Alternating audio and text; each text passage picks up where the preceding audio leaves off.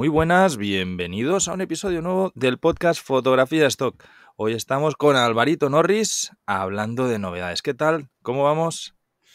Feliz y contento porque me acaban de llegar 240 dólares de unas misiones de Adobe que he hecho hace un par de días. Misiones que me llevaron una horita de trabajito y estoy feliz. Feliz. Bien pagada la hora. Qué bien. Pues yo feliz también. Hoy probando ser nuevo, ¿ves? Que la cámara se mueve. Para los que estáis en YouTube, con las manos no las muevo, ¿eh? Fue recomendación. Mira mamá, sin manos. Claro. espera, espera, espera porque... Espera, porque no vas a ser tú el único aquí que, hace... A ver, ¿cómo...? ah, mira. Me recomendaste tú la cámara. Ahí estamos. Tú también estás con la, con la Osmo Pocket. Sí. Bueno, para todos aquellos que, que, nos estáis viendo, eh, una pijada, que la verdad que cuesta una pasta, tío, por lo que es, pero eh, está siendo muy útil. Que va a costar una pasta, yo la tengo... Amortizada, sí. Amortizadísima, porque con esto hago las sesiones de stock, ¿eh? Con, esto hago las sesiones de emisiones de Adobe. Bueno, vamos a contar lo que es, porque si no... vale, vale, vale. vamos a contar la historia, va. Vino el otro día, yo, ando por, por estas tierras, y vino el otro día a verme a Cardedeu Álvaro, fuimos a comer juntos, comimos bien esta vez, porque alguna otra vez, pobre, has tenido disgustos. Hombre, por, ignorancia, ¿eh? me pedí pies de, pies de cerdo y no me gustaron nada. Dije, ah". pura grasa era eso. Lo que pediste. Bueno, el caso es que eh, fuimos aquí en la Tocaravana a grabar y, y Álvaro traía la DJI, la Osmo Pocket, y me flipó, porque es lo que estáis viendo en pantallas. La resolución es muy buena, eh, tiene un montón de funcionalidades, graba en 4K 120 FPS si queremos, que esto para esto que es muy útil. Esto es muy intuitivo, es muy pequeñito, fácil. Y, nada, pues a los dos días yo me la he comprado. Porque culo, culo veo, culo quiero. No, aproveché que, que, estaba en casa de mi madre, me podía mandar cosas de Amazon y digo, pues ahora es el momento. Y para hacer entrevistas o para grabar contenido y demás está genial, pero para stock también porque esto te permite hacer vídeo facilísimo, tanto en vertical como en horizontal. Además, es súper intuitivo. Es súper fácil. Mm. Y lo mejor de todo es que te la llevas en el bolsillo, ¿sabes? Y la calidad es espectacular. Mira, este es el bolsillo. Todavía tiene la etiqueta. Un bolsito súper pequeñito, ahí tienes todo. Y para el creador de contenido, eso de ponerte un microfonito, encenderlo, no tener cables, ¿sabes? Un sonido que está espectacular, pues genial. La verdad que he vendido un montón de Osmo Pocket porque también hice un video en YouTube de ella y ya sé que, está funcionando. Habrá que pedirles comisión. Eh, pero también tiene sus problemillas. Y es que yo ahora mismo estoy camino a, La Coruña, espero llegar hoy, que para cuando publiquemos esto pues ya, ya estará. Y me voy a pasar en Galicia un montón de tiempo. Si estáis por las por tierras gallegas, mandadme alguna, algún mensajito por Instagram a ver si hacemos ahí una, una queda de estoquera. Al mío personal va a ser la manera más fácil, ¿vale? Carles-NEA. Y bueno, estaba en Madrid con el amigo Carrascosa, que me hizo muchísima ilusión, hacía tiempo que no nos veíamos. Y, aparte de que hicimos una sesión, no sé si viste las fotos, me hizo una sesión. con la autocaravana. Sí, guay. exactamente, que han ido para Western y me estaba diciendo, ayer de hecho me escribió diciendo, oye, sigues por aquí para hacer más, porque a Western les han encantado. Y, y pues ya no, ya se le pasó el toro. Pero la lástima es que grabamos una, entrevista aquí, bueno, un episodio para el canal de YouTube de Estoqueros y eh, pues no se grabó bien el audio. Pero eso no fue culpa de la Osmo, ¿eh? No, a ver, a ver, si nos ponemos tiquismiquis, la culpa es mía. Eh, no, yo tengo, bueno, no sé, técnicamente lo tengo que probar a ver cómo, se hace, porque quería, yo tengo un juego de micros, que es el que utilizo para hacer entrevistas cuando grabo con la, con la Sony S7 Pero por alguna razón solamente le pillo micro a él. Básicamente fue, ese fue el lío. Entonces, pues, pues no se ha grabado bien. Hemos tenido que tirar ese vídeo. A lo mejor podemos sacar algún clip de José Luis de alguna cosa que podamos compartir en redes. Pero lo que es como tal, la entrevista, de momento, fallido. Totalmente. Vale, aclararos que, eh, bueno, mm, el micro que trae directamente la Osmo no se enchufa directamente a la Osmo, es, es inalámbrico y tienes la posibilidad de agregar un segundo micro. Entonces yo lo que he hecho es comprarme otro micro más, además del que viene con el Creators Combo, y eso es lo que veis en un vídeo de YouTube donde estamos Carles y yo en la autocaravana. Y como veréis, eh, suena muy muy bien, a pesar de que le tuve que pasar algunos filtritos de sonido porque había un poquito de ruido de, de, calle alrededor, de coches pasando y lo que sea, pero suena muy muy bien, se escuchan perfectos los audios de los dos pero ya no he probado lo, de lo que ha hecho Carles de poner un micrófono externo y enchufarlo a la cámara, que o no se encendió el segundo micrófono o ahí algún problema hubo, pero pues, vamos, o sea... Pues mira, yo creo, porque claro, yo el micro, no, o sea, yo lo que tengo son, son dos micros inalámbricos con una centralita, ¿no? Con un receptor. Y lo metí el receptor al micro inalámbrico de la Osmo. Porque va con cable jack, ¿sabes? Entonces, en principio, mi intención es que el receptor tendría que recibir ambos micros y este lo que hace es grabar por un lado por el izquierdo y por otro lado por el derecho, ¿vale? Cada micro. Esto lo, bueno, funciona así.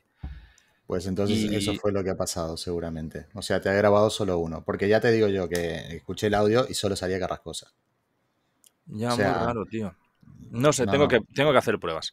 Pero bueno. Ese es, el, problema. O sea, sí, sí, que te graba por dos audios. Con, cuando este lo enchufaste, Sí, sí, con este. Con este voy genial. Este lleva. Con el termomicrófono. lleva. Buenísimo. Este, este micro ya lleva más de mil podcasts grabados. La verdad que todos, y, no sé cuántos años llevo con él, pues desde el 2019.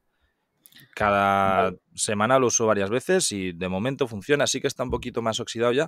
Y el termo que me decías antes, esta botellita de agua, es la segunda que tengo y me costó mucho encontrar una que tuviese esto de suficiente tamaño como para meter el micro adentro. Y así lo uso de trípode, ¿sabes? Para cualquier sitio de, mundo. Hombre.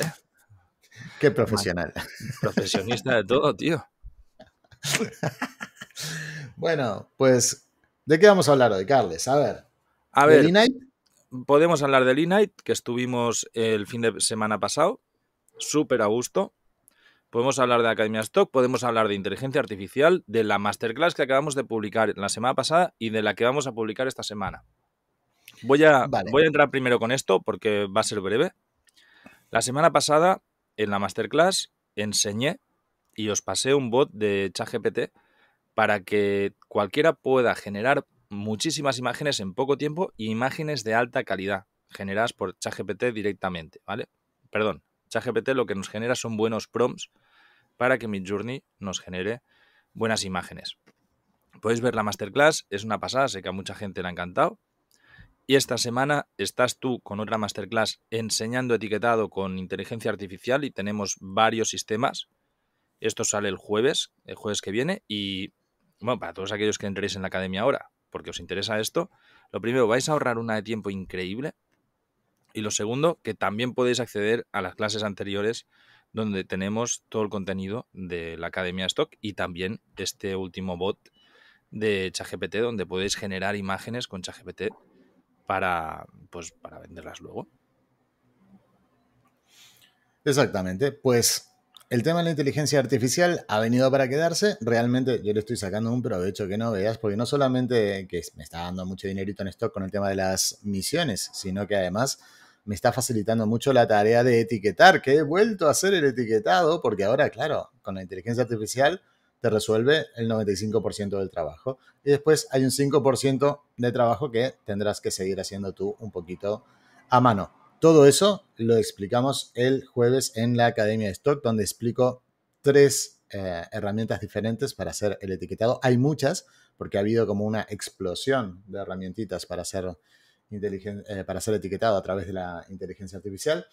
En realidad, como explico en un vídeo de noticias estoqueras que salió el domingo pasado, muchas de ellas no son más que un user interface que llama a ChatGPT, ¿vale? Pero bueno, más allá de eso, explico cuáles son las ventajas y desventajas de esas herramientas y también eh, muestro cómo utilizar. Algo que, que, a lo mejor la audiencia no sabe es que tanto tú como yo tenemos orígenes de informático. Que es que has dicho lo de user interface y he pensado, hombre, Alvarito, ¿podrías programar tú alguna cosita? Solo de pensarlo ya se me cayó un huevo. o sea, no, no, no, no, no, no. O sea, muero, muero de hacer eso. O sea, primero que nada, estoy completamente desfasado. No, no me acuerdo ya ni hacer de una Pues, línea de código, ¿sabes? Si ahora te lo hace ChatGPT, eso está chupado ahora, tío. Sí, pero no, uf, uf, me da mucho pala, la verdad. O sea, Normal. eh, hay mucha gente haciendo ese tipo de cosas, no solamente para etiquetado, para todo. O sea, Ujú. lo que está muy de moda en el tema de apps es mm, hacerte una aplicación de citas inteligente. ¿Y qué hace la aplicación de citas inteligente? Pues ser una app que te descargas en el móvil, pero al fin y al cabo son llamadas a, a, ChatGPT, con la API. Ujú. ¿vale? A, a través de una API. Sí, una API es un Application Program Interface, que es algo así como que tú te comunicas directamente con ChatGPT y ChatGPT te devuelve una respuesta y todo eso se lo muestras con un interfaz de usuario, que eso es un user interface, mucho más ameno al cliente final, que eres tú, ¿vale? Y ya te digo, de eso está lleno Internet, lleno, o sea, hay mucha gente que se está forrando en base a crear un user interface que ha- hace llamadas específicas sobre un tema específico que eh, tienen un poco como si fuese un GPTS, mm, Ujú. Sí, más ¿vale? avanzado, sí, sí. que le han dado una serie de instrucciones para un determinado nicho, una determinada, una determinada cosa, y entonces, bueno, pues te devuelve los resultados muy, muy buenos, pero es que la base es ChatGPT, ¿sabes? O sea, Sí.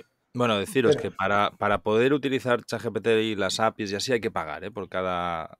son centimitos, pero suman mucho. Cuando es a través de un software, pues eso suma muy, muy rápido. De todas maneras, no nos vamos a complicar la vida. mm, Lo tenéis facilito, sin necesidad de user interface ni historias, ¿vale? Y también para todos aquellos que utilizáis la versión gratuita de ChatGPT, que, es más limitada, evidentemente, pero podéis usar perfectamente todo lo que os estamos pasando. Vale, vamos con el Innight, va. Estuvimos Santi y yo, que también me- hizo mucha ilusión. Con Santi, joder, hablamos todos los días, pero nos vemos muy poquito. Y el sábado, pues estuvimos dando una charla conjunta en, en Torrejón de Ardoz, eh, dentro del Congreso del Innight. Decir que yo me levanté con afonía. Mira, todavía sigo aquí con caramelitos de estos de, de Strepsils, este de- sí, sí, para la fonía, para, para la bueno, garganta. para la garganta, sí. Y, y- y sigo a fecha de hoy, o sea, por la tarde ya de tanto hablar, porque lo único que hago yo en todo el día me he dado cuenta que solo hablo. Ya no tenía voz.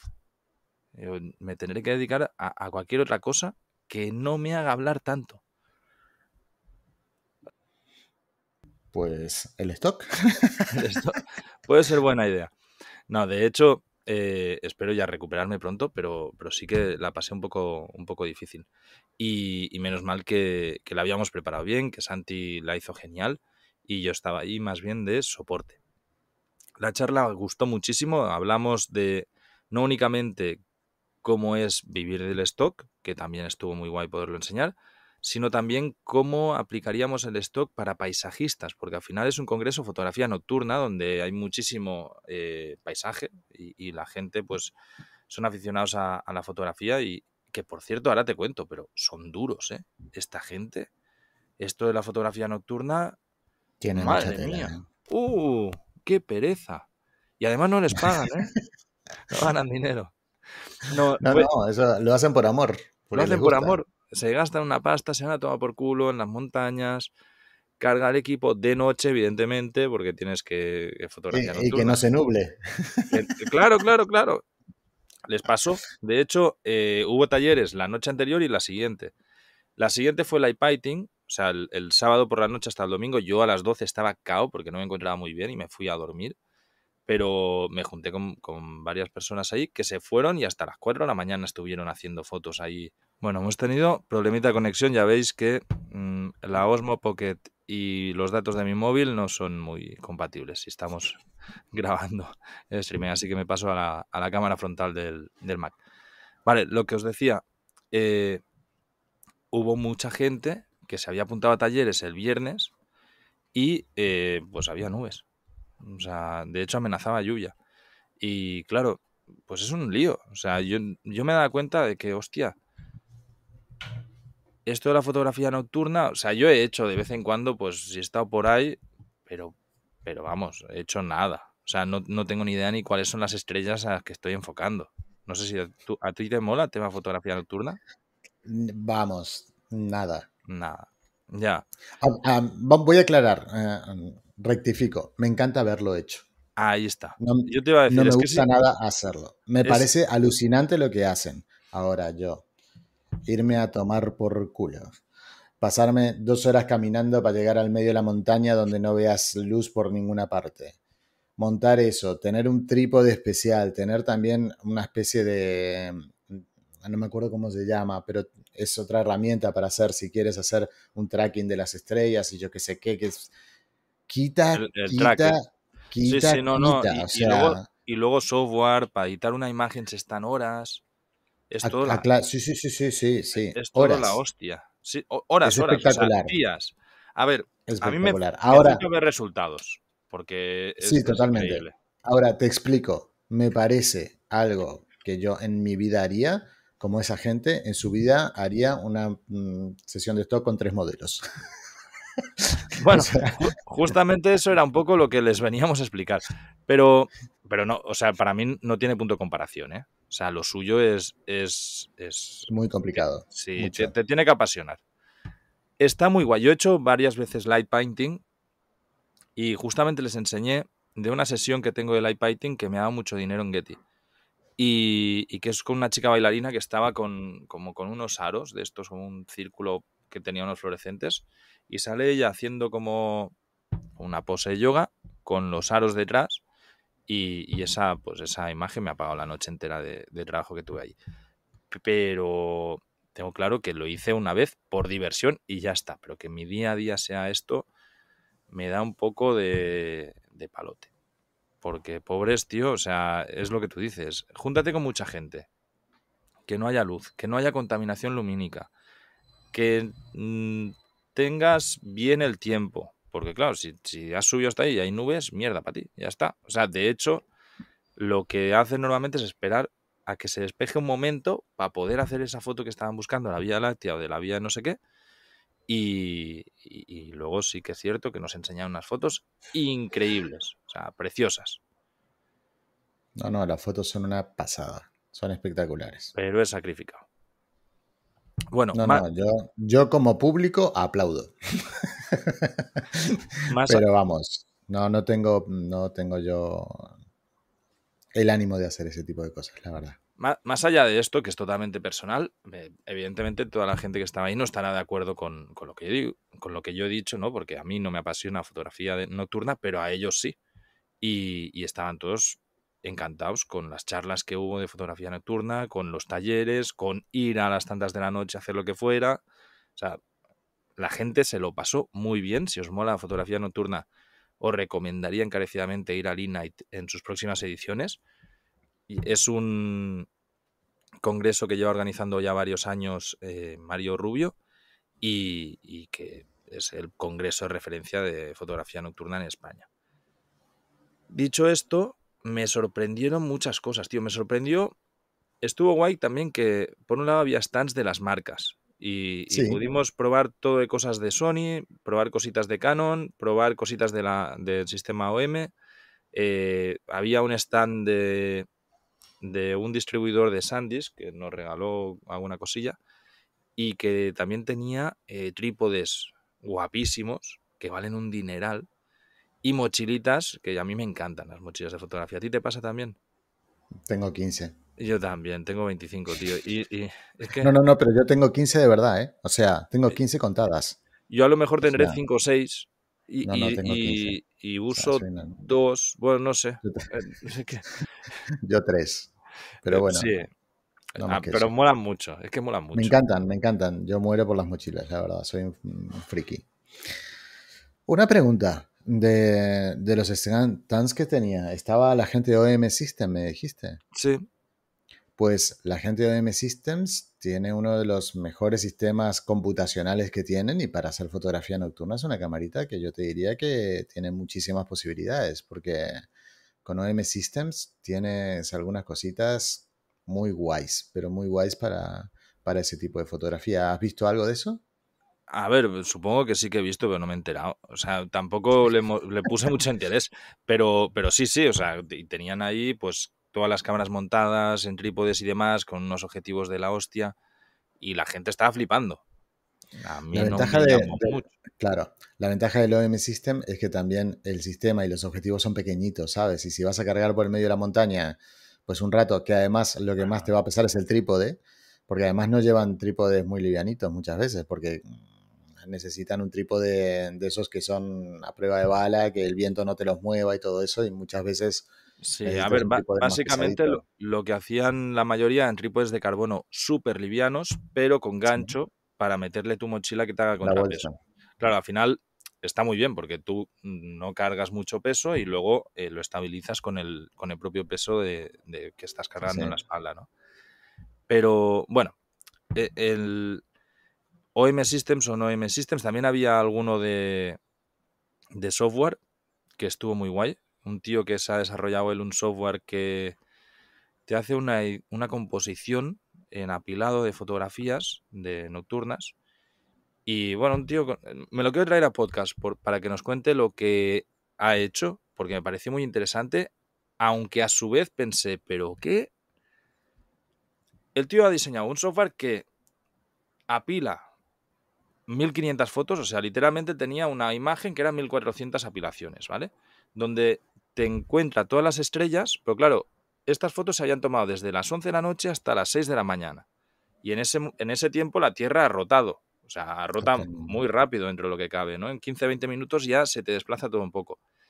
Entonces, lo que conseguía con este software era deshacer la rotación de la Tierra para pillar las estrellas lo mejor posible, detectar todos los satélites y borrarlos, porque está el cielo lleno de satélites. Se ve, esto no lo sabía, tío, hay una de chatarra por allá arriba. Una de chatarra, cualquier día cae todo y aquí tenemos un problema. Porque realmente, o sea, hay más satélites que estrellas, tío, es increíble.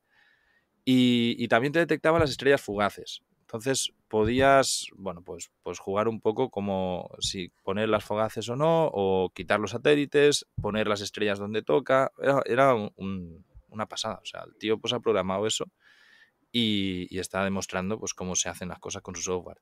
Pero claro, yo pensé, vale, está genial, pero ¿quién es el loco que hace 1400 fotos para apilar?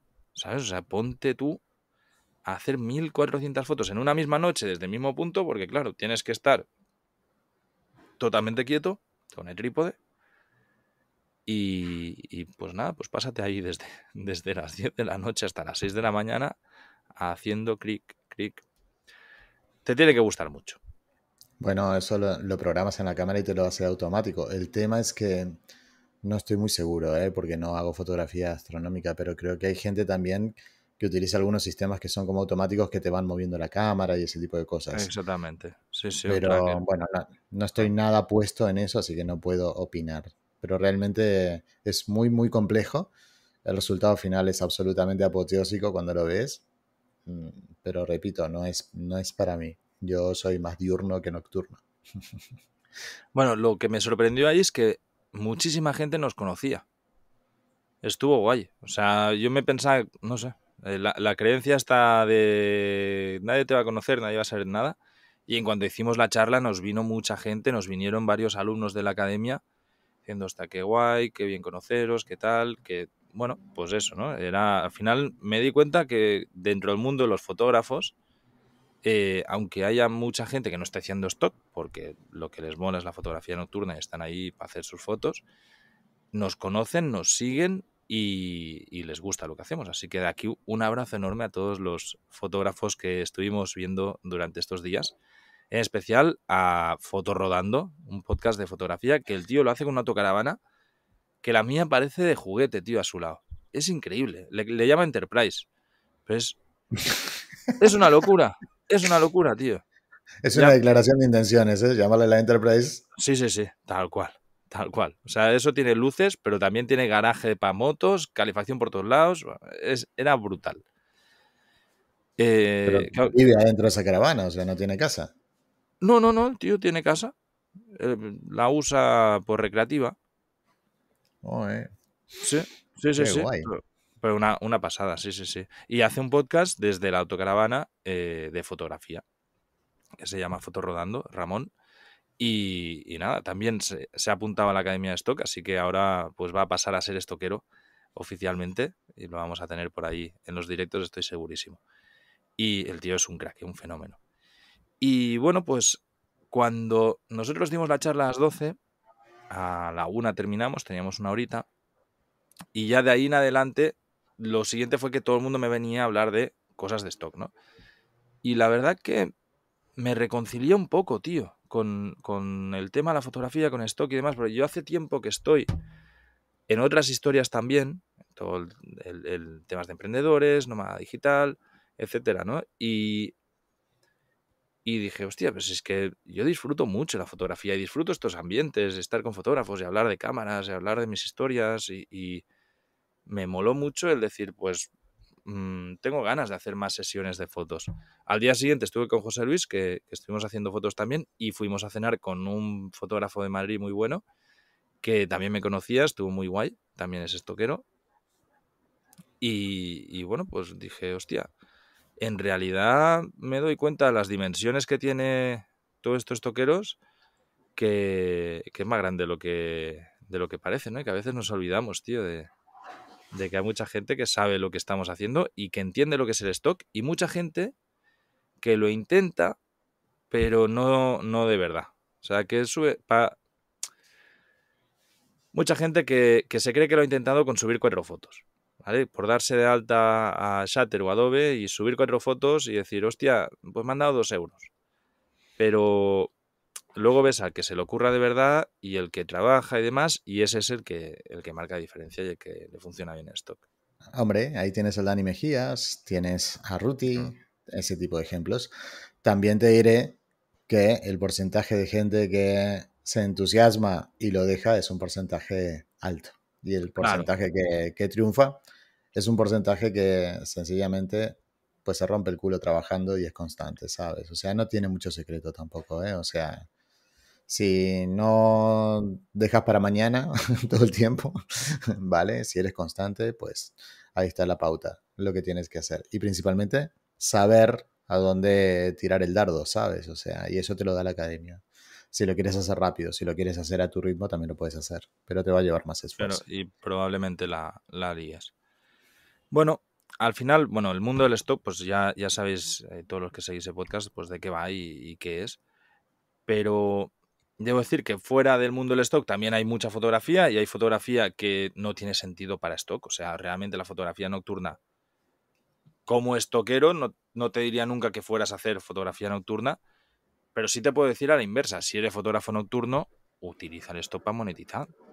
Y, hay maneras, o sea, a lo mejor estas fotos de la Gran Vía Láctea y demás no se vendan tanto, pero sí que hay muchas maneras de, sacarle provecho a fotos de paisaje, a fotos de, nocturna y entender un poco sobre todo concepto comercial. Y eso fue lo que fuimos a enseñar ahí y la verdad que creo que la charla gustó mucho, que la gente se lo pasó bien, que entendió también lo que es el stock más de la mano y empezamos a, a bueno, pues a meterle caña a nuevos estoqueros que, estoy seguro que, van a dar pronto que hablar.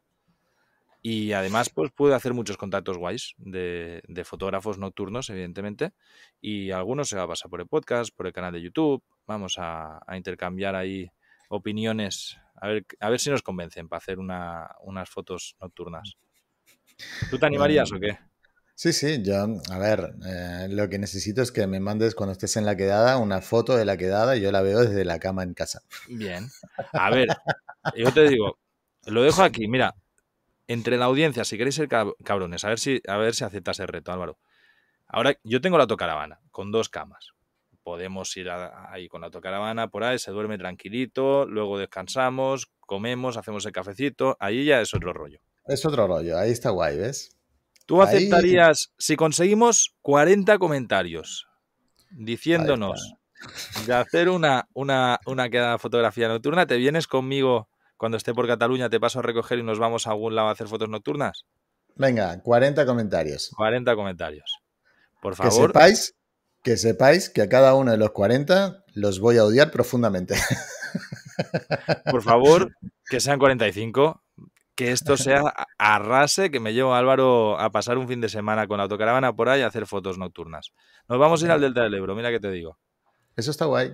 Ah, ahora ya te empieza a molar. Sí, hacer fotos, Yo, yo en ¿Cuánta, el con- delta, cuánta contaminación lumínica tienes ahí en el delta? no mucha, y depende de dónde te enfoques. Claro, si tiras contra el mar estás muy guay. Y yo en el delta muchas veces sí que he hecho, no nocturnas, sino de amanecer.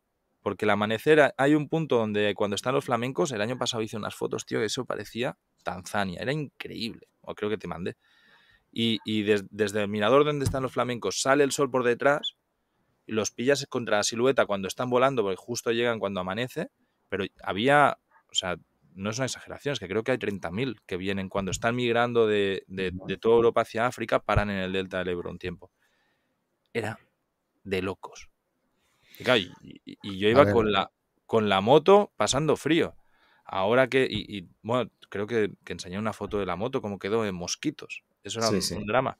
Ahora que podemos ir con la autocaravana como dos señores mayores, yo creo que, que vamos, eso está hecho.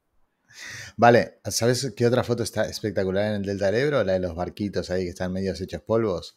Que pones un trípode ahí, lo dejas todo el agua como si fuese un espejito. Exactamente.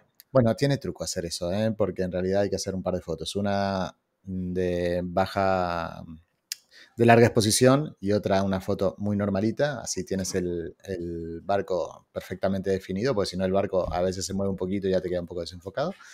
Y los unes después en Photoshop y te quedan unos fotones espectaculares. Si lo haces eso muy al atardecer o muy al amanecer, te quedan unas fotos increíbles. Pero hay que saber dónde están esos barquitos hechos polvo. Y Yo tienes que saber que, sí, Claro. pero tienes que saber que donde están esos barquitos hechos polvos también están los mosquitos. Hay muchos mosquitos, eso mismo te iba a decir. Pero bueno, ya, ya se nos apetece más, ¿eh? El tema fotos nocturnas por ahí. Así Sí, sí. que, eh, sí. ya sabéis, por favor, 40 comentarios aquí apoyando para que, para que Álvaro no duerma una noche. Estoy mayor, gente, no me hagáis esto. Y bueno, hoy podcast largo, al final se nos ha ido un montón entre el corte que hemos tenido. Así que nada, nos vemos cada semana, ya sabéis, los jueves en la Academia Stock. Esta semana tenéis cómo etiquetar con inteligencia artificial. La semana pasada teníais cómo crear prompts con inteligencia artificial con un bot que yo mismo he programado y que os enseño cómo hacerlo. Y la semana que viene tendréis más stock. Así que muchas gracias a todos los que estáis ahí y nos seguimos viendo en la academia. Chao. Hasta luego.